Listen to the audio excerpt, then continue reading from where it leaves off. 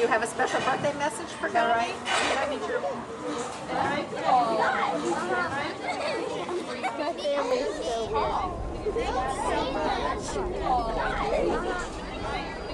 you so much. Look at